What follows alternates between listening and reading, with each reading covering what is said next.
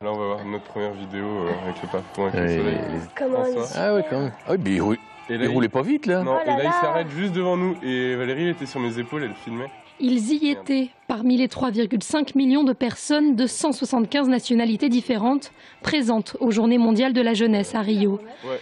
12 jeunes tourangeaux ont participé au pèlerinage de l'Église catholique et le bilan pour eux est plus que positif. Alors euh, moi j'ai trouvé ça fantastique. C'était fort, c'était beau, c'était de voir tous ces gens prier tous ensemble euh, devant un écran.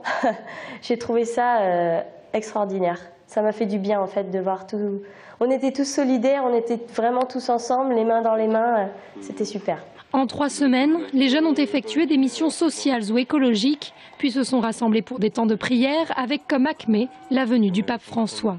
Il était beaucoup en interaction avec nous, il nous posait des questions, il faisait des petites blagues. Bon, ça fait aussi partie de la communication, mais le pape, c'était un peu celui qui venait nous, nous, nous guider dans ces JMJ. Et c'est vrai que moi, personnellement, ça m'a, euh, ces mots m'ont beaucoup touché.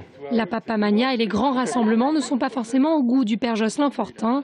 Pourtant, il a accepté avec joie d'accompagner les jeunes à Rio, convaincu de la portée de ces JMJ dans le cœur des croyants. C'est pas que du fictif, que ce qu'on peut voir à la télé ou c'est quelque chose qui a pu être expérimenté par, euh, par ce groupe, par ces jeunes, par ces millions de jeunes.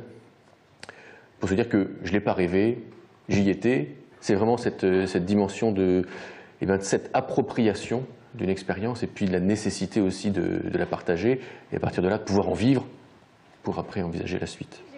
Paul et Aude sont unanimes lorsqu'on leur demande s'ils comptent renouveler l'expérience. Ah oui, ah oui c'est sûr. Ah bah comme Paul, hein, j'y vais jusqu'à mes 30 ans, hein, c'est bon. Les prochaines JMJ se dérouleront en 2016 à Cracovie en Pologne et les couleurs de la Touraine y seront donc représentées.